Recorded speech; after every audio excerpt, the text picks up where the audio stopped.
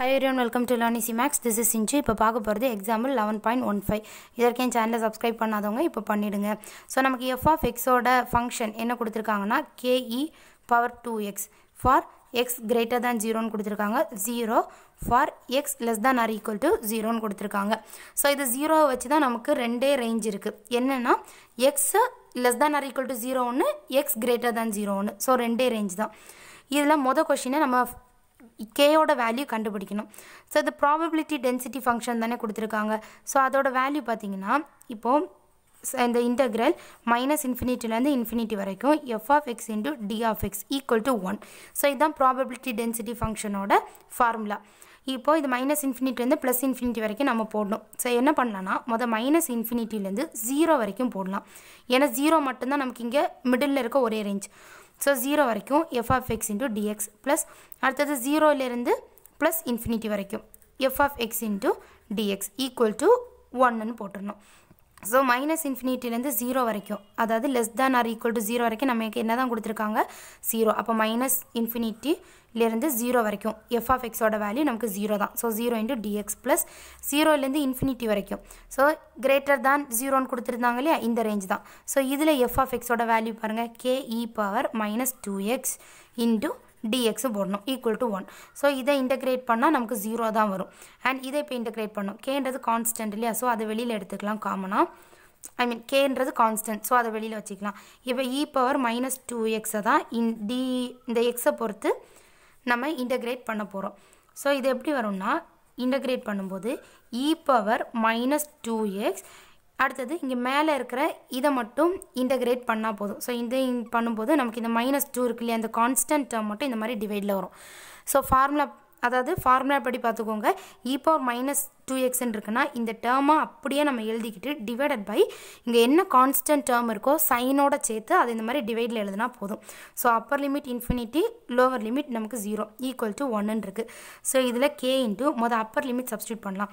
So இ power minus இன்ஃபினிட்டிவ்ன்ட்டு என்ன value போட்டாலும் நமக்கு இன்ஃபினிட்டிவ் தான் வரும். டிவைடட் பை டூ அடுத்தது லோவர் லிமிட் சப்ஸ்டியூட் பண்ணுறதுக்கு முன்னாடி ஒரு மைனஸ் போடணும். மைனஸ் போட்டு அடுத்தது லோவர் லிமிட் சப்ஸ்டியூட் பண்ணலாம். ஸோ இ e பவர் இங்கே எக்ஸுக்கு பதிலாக ஜீரோ போட்டாச்சுன்னா நமக்கு e power zero divided by minus two இல்லையா? ஓகே ஈக்குவல் டு ஒன் இப்போது இ பவர் இன்ஃபினிட்டினா அது நமக்கு ஜீரோன்னு அர்த்தம். ஸோ இது ஜீரோ மைனஸ் இங்கே என்ன இருக்குது இ e பவர் ஜீரோனா நமக்கு வேல்யூஸ் ஒன் டிவைடட் பை கீழே ஒரு மைனஸ் டூ இருக்குல்ல அதையும் போட்டுக்கலாம். ஈக்குவல் டு ஒன் இங்கே மைனஸ் மைனஸ் கேன்சல் ஸோ இங்கே இப்போ என்ன தான் இருக்குது one by two into k இருக்குது equal to one so k equal to இந்த டூ நான் அந்த பக்கம் கொடுத்துறேன். ஸோ டூ அந்த பக்கம் போகும்போது மல்டிப்ளிகேஷனாக போகும். அப்போ one two is two so கேயோட value கிடச்சிடுச்சு இல்லையா? ஜஸ்ட் பார்த்தீங்கன்னா இயை e முதல் இன்டகிரேட் பண்ணுங்கள் இன்டகிரேட் பண்ணும்போது என்ன e இ பவர் இருக்கோ அதை அப்படியே எழுதிட்டு பவரில் இருக்க அந்த நம்பரை மட்டும் சைனோட இந்த மாதிரி டிவைடில் போட்டால் போதும். அதுதான் இ பவரை இன்டகிரேட் பண்ணுறது ஸோ நம்ம எப்போவுமே எக்ஸ் இருக்க இடத்துல மொதல் அப்பர் லிமிட்டை சப்ஸ்டியூட் பண்ணுவோம். மைனஸ் போட்டுட்டு அடுத்து லோவர் லிமிட்டை சப்ஸ்டியூட் பண்ணுவோம். ஸோ இந்த டேர்ம் நமக்கு அப்படியே ஜீரோ ஆகிடுச்சு இ பவர் இன்ஃபினிட்டினா நமக்கு ஜீரோ மீதி இருக்கிற வேல்யூ மட்டும் போட்டிருக்கேன். எதோட பவர் ஜீரோனாலும் அதோட value one so E power ஜீரோனாலும் one தான். Minus minus cancel one by two K equal to ஒன்னு போட்டு கேயோட வேல்யூ கண்டுபிடிச்சாச்சு. ஸோ ஃபஸ்ட் பார்ட் ஓவர் இப்போ இந்த ஃபங்க்ஷனில் கேயோட வேல்யூ சப்ஸ்டியூட் பண்ணி எழுதணும். அதாவது f of x equal to கேக்கு பதிலாக நமக்கு கிடச்ச ஆன்சரை போடணும். டூன்னு இ பவர் டூ எக்ஸ் இது x greater than zero is x less than or equal to zero so அவ்வளோதான் இனி அடுத்தது செகண்ட் பார்ட் டிஸ்ட்ரிபியூஷன் ஃபங்க்ஷன் கேட்டிருக்காங்க. ஸோ டிஸ்ட்ரிபியூஷன் ஃபங்க்ஷன்ன்றப்ப ஃபார்முலா என்ன வரும் நமக்கு? அதாவது capital F of X equal to P of X less than or equal to X equal to minus இன்ஃபினிட்டிலேருந்து X வரைக்கும். F of u into d u suppose நமக்கு F of you இவ value இல்லையே அப்படின்னா இங்கே எஃப் ஆஃப் எக்ஸ் இருக்கு இல்லையா? அதுக்கு பதிலாக யூ போட்டால் போதும். அதாவது எக்ஸ் இருக்க இடத்துலலாம் நம்ம யூன்னு மாற்றி போட்டு எடுத்தால் போதும். அதுதான் வேல்யூ ஸோ இப்போ டிஸ்ட்ரிபியூஷன் கண்டுபிடிக்கலாம்.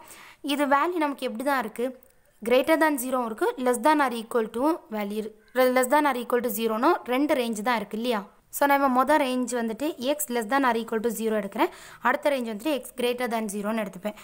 When x less than or equal to zero மொதல் ரேஞ்ச் எடுக்கும்போது பாருங்கள் f of x equal to minus இன்ஃபினிட்டிவ்லேருந்து நார்மலாக இங்கே ஜீரோன்னு போடுவோம். பட் இங்கே எக்ஸுன்னு தான் நம்ம முடிக்கணும். ஸோ அதனால எக்ஸுன்னு போடுறேன். இப்போ மைனஸ் இன்ஃபினிட்டிவ்லேருந்து இந்த ஜீரோ வரைக்கும் என்ன தான் நமக்கு வேல்யூ கொடுத்துருக்காங்க? ஜீரோன்னு அதாவது ஜீரோட கம்மியான நம்பர் இருந்துச்சுனாலே நமக்கு இங்கே ஜீரோன்னு தான் எடுக்க சொல்லியிருக்காங்க. ஸோ இதோட value zero into d u அதாவது எஃப் ஆஃப் யூவோட வேல்யூ இங்கே ஜீரோன்னு கொடுத்துருக்காங்க. ஸோ ஜீரோன்னு எடுத்துக்கிட்டோம். ஜீரோ நம்ம இன்டெகிரேட் பண்ணால் நமக்கு ஜீரோ தான் வரும். ஸோ அவ்வளோதான் முடிஞ்சிடுச்சு. அடுத்தது second range when x greater than ஜீரோன்னு அப்போ இதில் எஃப் ஆஃப் எக்ஸோட வேல்யூ பாருங்கள் மைனஸ் இன்ஃபினிட்டியிலேருந்து ஜீரோ வரைக்கும் எடுத்துக்கணும். F of u into d u plus அடுத்தது ஜீரோலேருந்து நம்ம ப்ளஸ் இன்ஃபினிட்டி வரைக்கும் எடுக்கணும். பட் ஃபார்முலாவில் இங்கே எக்ஸ்ன்னு தான் எடுக்க சொல்லியிருப்பாங்க. ஸோ எக்ஸ்ன்னு எடுத்துக்கணும். F of u into d u so இதோட வேல்யூ மைனஸ் இன்ஃபினிட்டிலேருந்து ஜீரோ வரைக்கும் நமக்கு ஜீரோன்னு தான் எடுக்க சொல்லியிருக்காங்க. So zero into d u plus ஜீரோலேருந்து எக்ஸ் வரைக்கும். F of யூவோட value two e power minus two x போடக்கூடாது. இங்கே யூ இருக்கனால எக்ஸுக்கு பதிலாக யூன்னு நம்ம மாற்றி எடுத்துக்கணும். இன்ட்டு டியூ ஸோ இது ஜீரோ இருக்கிறனால நமக்கு ஜீரோ இன்டகிரேட் பண்ணால் ஜீரோ தான். ஸோ இதில் டூன்றது கான்ஸ்டன்ட் ஸோ நான் அதை வெளியில் காம வெளியில் எடுத்துகிட்டு ஜீரோ எக்ஸ் லிமிட்டை போட்டுக்கிறேன். அதுக்கப்புறம் e power minus two u into டியூன்னு இருக்கு இல்லையா? ஸோ டூ இன்டூ இப்போ இதை இன்டகிரேட் பண்ணால் ஆஸ் யூஷுவல் நான் சொன்னது தான். இப்போ யூவை பொறுத்து தான் நம்ம இன்டகிரேட் பண்ணுறோம் அப்போ இ e பவர் என்ன இருக்கோ அதை அப்படியே எழுதிட்டு டிவைடட் பை என்ன கான்ஸ்டன்ட் டேர்ம் இருக்கோ அதை டிவைடில் எழுத வேண்டியதான் ஸோ இங்கே மைனஸ் டூ தானே இருக்குது மைனஸ் டூ அப்படியே போடணும். இப்போது லிமிட்டை சப்ஸ்டியூட் பண்ணோம். Upper limit x lower limit zero இல்லையா? ஸோ இதில் பாருங்கள் டூ இன்ட்டு இப்போ யூ இருக்க இடத்துல மொதல் அப்பர் லிமிட்டை சப்ஸ்டியூட் பண்ணோம். அப்போ இ பவர் மைனஸ் டூ யூக்கு பதிலாக x divided by minus two அடுத்து லோவர் லிமிட் பண்ணுறதுக்கு முன்னாடி ஒரு மைனஸ் போடுவோம். ஸோ மைனஸ் போட்டு அடுத்து லோவர் லிமிட்டை சப்ஸ்டியூட் பண்ணலாம். ஸோ பாருங்கள் இ e பவர் மைனஸ் இங்கே யூக்கு பதிலாக ஜீரோ போட்டால் ஜீரோ இன்ட்டு மைனஸ் டூ நமக்கு ஜீரோ தான் இல்லையா? டிவைடட் பை மைனஸ் டூன்னு இருக்குது so two into e power minus two x divided by two minus இங்கே என்ன இருக்குது இ e பவர் ஜீரோனா நமக்கு ஒன்றுன்னு அர்த்தம். So one divided by minus டூன்னு இருக்கும். இப்போ இதில் டூ இன்ட்டு இதை நான் என்ன பண்ணுறேன்னா இது ரெண்டத்துலேருந்து ஒரு டூவை நான் வெளியில் காமனாக எடுத்துடுறேன். இங்கே இந்த மைனஸ் இந்த மைனஸ்லேருந்து ப்ளஸ் ஆகிடும் இந்த டூவை நான் வெளியில் காமனாக எடுத்துடுறேன். ஸோ டூவை வெளில காமனாக எடுத்தாச்சு. பேலன்ஸ் என்ன இருக்கும்? இங்கே e power minus two x இருக்கும். இங்கே மைனஸ் மைனஸ் ப்ளஸ் ஆகிடுச்சு இல்லையா? ப்ளஸ் ஒன் மட்டும் இருக்கும். இங்கே two two cancel so e power minus two x plus ஒன்னுன்னு இருக்குது இதில் ஒரு மைனஸ் உண்டு இல்லையா? இந்த மைனஸ் டூ ஸோ இந்த மைனஸ் டூ அப்போ என்ன ஆகிடும்னா இங்கே ஜஸ்ட் ஒரு மைனஸ் இருக்குது அதாவது இதுக்கு மட்டும் ஒரு மைனஸ் இருக்குது என்னென்னா நான் டூவை ரெண்டு இதுலேருந்து வெளியில் காமனாக எடுத்துகிட்டு இங்கே மைனஸ் மைனஸும் ப்ளஸ் ஆகிடும் பட் இந்த மைனஸ் உள்ளே அப்படியே தான் இருக்குது ஸோ இங்கே மைனஸ் வரும் இல்லையா? Minus e power minus two x plus ஒன்னு இருக்குது ஸோ நான் ப்ளஸ் தாம முதல் எழுதிக்கிறேன். அப்போ one minus e power minus two எக்ஸ்ன்னு எழுதிக்கிறேன். ஸோ அவ்வளோதான் இது.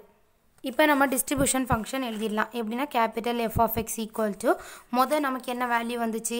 ஜீரோ வந்துச்சு இல்லையா? ஜீரோ வந்துச்சு. எப்போ அப்படின்னா x less than or equal to ஜீரோன்னு போடும்போது. அடுத்து என்ன வேல்யூ வந்துச்சு? One minus e power minus two x வந்துச்சு. எப்போனா எக்ஸ் கிரேட்டர் தேன் ஜீரோன்னு போடும்போது. ஸோ அவ்வளோதான் ஃபஸ்ட் செகண்ட் பார்ட் முடிஞ்சிடுச்சு. இனி நெக்ஸ்ட்டு தேர்ட் பார்ட் பாருங்கள் பி ஆஃப் லெஸ் தேன் டூன்னு கொடுத்துருக்காங்க. ஸோ நம்ம p of x less than இருக்கிறத தாராளமாக லெஸ் தேன் ஈக்குவல் டு நம்ம மாற்றிக்கலாம் because it is a continuous ஃபங்க்ஷன்னு ரீசன் கொடுத்துருப்பாங்க. So x less than or equal to two so இதோட சிம்பிளாக நம்ம எஃப் ஆஃப் டூன்னு எழுதிடுவோம். அதாவது இங்கே எஃப் ஆஃப் எக்ஸ் நம்ம எழுதி வச்சுருக்கோம் இல்லையா?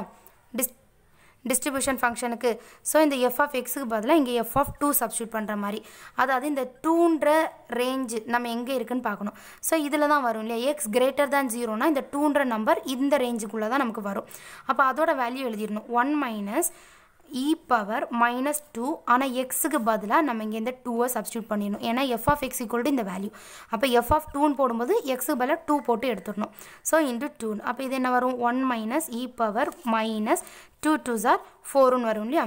ஸோ அவ்வளோதான் இந்த பார்ட் ஓகே இப்போது ஃபோர்த் பார்ட் என்ன கொடுத்துருக்காங்கன்னா x is at least for four units of time அட்லீஸ்ட்னு கொடுத்தனால மினிமமே நம்ம ஃபோர்னு எடுத்துப்போம். அப்படின்னா p of x greater than or equal to four அப்படின்னா மினிமம் ஃபோர் அதுக்கு மேலே வந்துக்கிட்டே இருக்கணும்.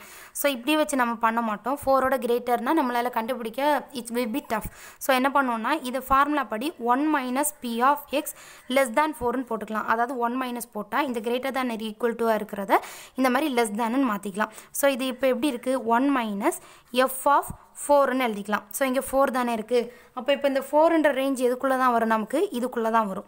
ஸோ ஒன் மைனஸ் இந்த ரேஞ்சை எழுதிக்கணும். அதாவது one minus e power minus two x இருக்கா? எக்ஸுக்கு பதிலாக இங்கே இந்த ஃபோரை தான் நம்ம சப்ஸ்டியூட் பண்ணணும். ஸோ இப்போ மைனஸ் உள்ள மல்டிப்ளை பண்ணிடலாம். அப்போ ஒன் மைனஸ் இந்த மைனஸ் உள்ள மல்டிப்ளை பண்ணால் மைனஸ் ஒன் இங்கே பண்ணால் மைனஸ் மைனஸ் ப்ளஸ் ஆகிடும் அப்போ e power minus four two sir eight இல்லையா? ஒன் மைனஸ் ஒன் கேன்சல் ஆகிடும் அப்போ இதோட value e power minus eight மட்டும்தான். ஸோ அவ்வளோதான் இனி லாஸ்ட் பார்ட் லாஸ்ட் பார்ட் பார்த்தீங்கன்னா உங்கள் புக்கில் நீங்கள் தியரிக்கு லைட்டாக ரெஃபர் பண்ணிக்கோங்க. எக்ஸ் ஈக்குவல் டு த்ரீன்னு கேட்டிருப்பாங்க. ஆக்சுவலி இது ஒரு கண்டினியூஸ் ஃபங்க்ஷன் ஏன்னா நம்ம எக்ஸுக்கு வந்துட்டு ஒவ்வொரு வேல்யூ சப்ஸ்டியூட் பண்ணும்போதும் நமக்கு இதில் ஒவ்வொரு வேல்யூ கிடச்சிட்டே இருக்கும். அதாவது கிராஃப் கிட்டத்தட்ட இந்த மாதிரி போகும். ஸோ அப்போ இது கண்டினியூஸ் ஃபங்க்ஷன் அப்படின்றப்ப நமக்கு எக்ஸாக்டாக p of x equal to three அப்படின்னு எக்ஸாக்டாக அந்த வேல்யூ கேட்டாங்கன்னா கண்டிப்பாக கிடைக்காது. லெஸ் தானோ கிரேட்டர் தானோ கொடுத்துருந்தா கூட நம்ம எடுக்கலாம். பட் இந்த மாதிரி ஈக்குவல் டுன்னு கொடுக்கும்போது நமக்கு இது கண்டினியூஸ் ஃபங்க்ஷனால எக்ஸாக்டாக அந்த ஒரு வேல்யூவை நம்மளால் கொடுக்க முடியாது. So p of x equal to த்ரீயோட வேல்யூ ஜீரோ அவ்வளோதான் இந்த சம் ஸோ அந்த சென்டென்ஸுக்கு நீங்கள் லைட்டாக புக்கை ரெஃபர் பண்ணிக்கோங்க. Don't forget to subscribe my channel thank you